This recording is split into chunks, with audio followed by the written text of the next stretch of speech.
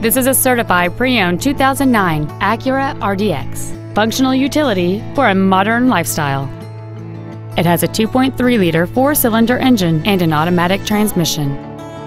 Its top features include a turbocharger, a navigation system, a rear-view camera, a low tire pressure indicator, high-intensity discharge headlights, satellite radio, aluminum wheels, and traction control and stability control systems.